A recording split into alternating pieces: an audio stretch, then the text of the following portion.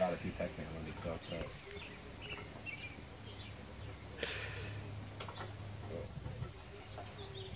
No it. What?